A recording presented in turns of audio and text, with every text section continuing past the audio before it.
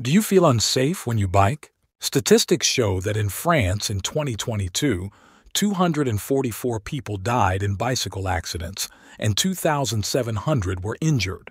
Velo Vision is here to help you prevent a cycling accident through innovative augmented reality technology.